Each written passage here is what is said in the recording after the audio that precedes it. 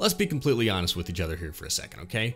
Computers are getting insanely expensive, and you and I need to have a heart to heart on whether or not buying an expensive computer is actually going to bring you more happiness and satisfaction in your day to day life. Yesterday, as I was laying in bed about to go to sleep, I decided to check Amazon to see if the graphics card that I've been keeping my eye on had gone down in price it had. I was completely amazed to see that the ROG Strix edition of the 3080 12GB had dropped below $800 for the first time in the history of the card. And in that moment, I wanted to click the order button so badly and finally give my 8-year-old graphics card the retirement that it deserves.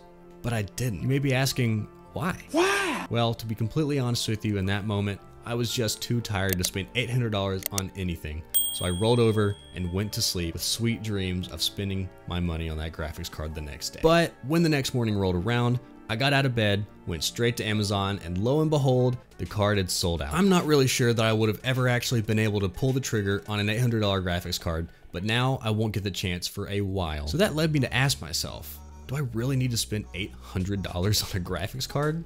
Doesn't my GTX 970 do the job that I need it to do? Would a new expensive graphics card make me happy or would it just make me regret spending the money that I could have saved? So many questions and they'll all have different answers for different people. So I'm gonna walk you, the viewer, through those questions and how to find the answers for yourself. So the first and most important question that you should be asking yourself is, does my current setup do what I need it to do with reasonable results. And what I mean by that is does your current setup run the games and programs that you want it to run at a reasonable frame rate and response time that's enjoyable to experience. Personally for me, an enjoyable experience is anything above 60 FPS and loading times that I don't notice. Anything below that is just not for me anymore. I did my time playing Minecraft at 24 FPS on my mom's laptop when I was a kid, and I don't ever want to have to go through that again. So if the answer to that first question of does my current setup do what I need it to do with reasonable results is yes, then you probably don't need a new graphics card, or at least not a new, really expensive one that's going to make you regret spending the money on it.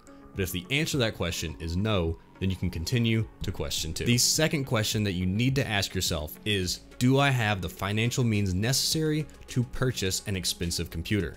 For most people, that means that about 30% of your yearly income can be spent on entertainment. Now, I'm gonna go out on a limb and say that most people aren't going to spend the entire 30% of their entertainment budget on just a single computer, so we're gonna knock that down by half and we're gonna call it 15%. If 15% of your yearly income is enough to build a really nice computer, do it. Now, the third and final question that you need to ask yourself before purchasing an expensive computer is one that's going to be pretty deep and it might take you a little bit of time to find an answer to. And it is, will an upgrade to my computer even make me happy? Or will I just feel regret about how much money I spent to upgrade? Now this is a really loaded question because a lot of people spend their entire lives looking for something that makes them happy. So it's really hard to know whether or not a material possession like a computer is going to bring you more happiness and fulfillment. Now, in my experience, it was never the computer itself that made me happy.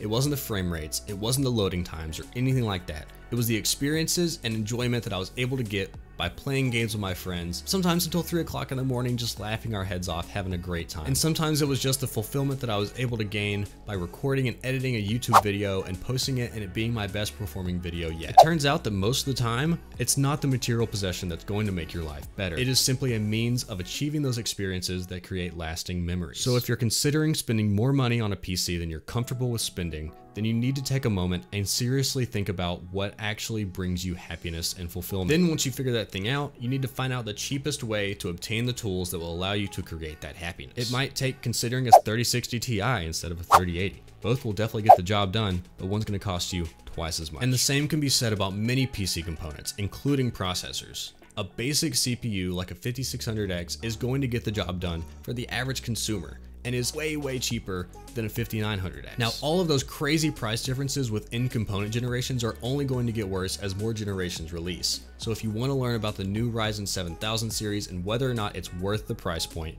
check out this video. Thanks for watching.